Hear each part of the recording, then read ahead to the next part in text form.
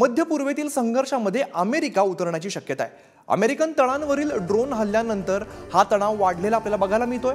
अमेरिकेचा इराण समर्थित दहशतवाद्यांवरती हल्ल्यांचा आरोप आहे. आज अमेरिकन अध्यक्षांकडून सैन्य कारवाईस मान्यता मिळण्याची सुद्धा शक्यता आहे.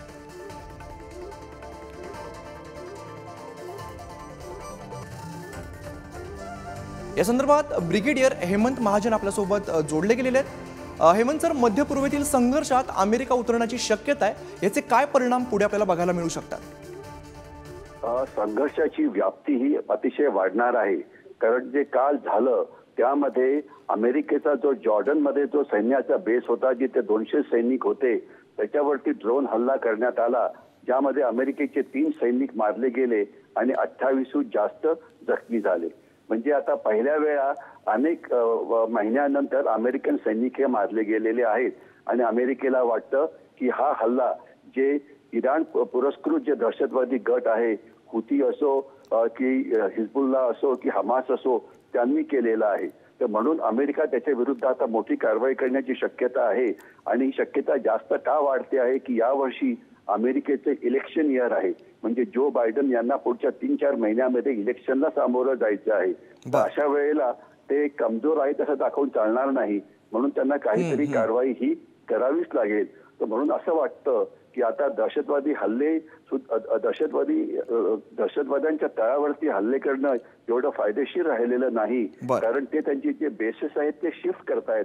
परंतु जर त्यांचे जे पुरस्कार त्यांना जी मदत करतात इराण त्यांच्यावरती हल्ला केला तर जास्त इफेक्ट होईल असं अमेरिकेत वाटायला लागलेलं आहे.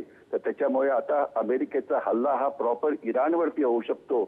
जो याच्या आधी तीन वर्षापूर्वी झाला होता त्यावेळेला जनरल सुलेमानी एक इराणचे जनरल हे मारले गेले होते. त्यानंतर मात्र इराणच्या भूमीवरती कधीही हल्ला झालेला नव्हता.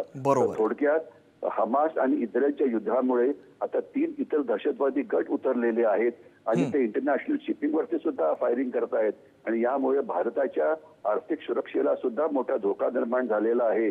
कारण जवळजवळ वीस ते पंचवीस टक्के भारताचा जो व्यापार होतो तो रेड सी सुएस कॅनॉल आणि गल्फ ऑफ होर्मुजमध्ये होतो जिथे युद्ध सध्या होत आहे. बर. हेमंत सर जर अमेरिकन अध्यक्षांनी सैन्य कारवाईला मान्यता दिली तर त्याची तीव्रता काय असू शकेल आणि त्याचा पूर्ण जागतिक व्यापारावरती त्याचा कसा परिणाम होईल? असं आहे की सध्या अमेरिका जे हल्ले करते आहे ते जे बेसिस आहेत हुतीचे त्यांच्यावरती करते आहेत की जे येमेन मध्ये आहेत वगैरे. परंतु त्यांनी इराणच्या मुख्य भूमीवरती कधी हल्ला केला नव्हता आणि हे जग जाहीर आहे की या सगळ्या दहशतवादी गटांना मदत शस्त्रांची असो किंवा पैशाची असो ही इराणकडनं मिळते आहे. म्हणजे. इराण हा पाकिस्तानच्या नंतर नंबर दोनचा देश मानला जातो. जो दहशतवाद्यांचं माहेरघर बनलेला आहे. तर अशा परिस्थितीत जर अमेरिकेने इराणवरती हल्ला केला तर इराणकडे सुद्धा पारंपरिक सैन्य पुष्कळ आहे ज्याच्यामुळे युद्धाची व्याप्ती वाढू शकते. तर तेवढी युद्धाची व्याप्ती वाढवण्याकरता अमेरिका तयार आहे का?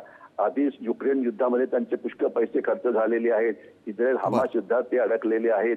हुतीचे हल्ले परतवण्यात ते अडकलेले आहेत. आणि अशा वेळेला एक चौथी फ्रंट उघडून इराणवरती हल्ला करणं हे एक अतिशय मोठं विश्लेषकांचं काम असेल. यामुळे फायदा हो- होईल किती नुकसान होईल किती? परंतु तर ते झालं तर युद्धाची व्याप्ती तर वाढेलच. परंतु सध्या मुख्य धोका जो आहे तो आंतरराष्ट्रीय व्यापाराला आहे की जो व्यापार. वीस ते पंचवीस टक्के व्यापार सुएस कॅनॉल आणि रेड सी मधनं जातो ज्यामध्ये भारताचा वीस टक्के व्यापार आहे.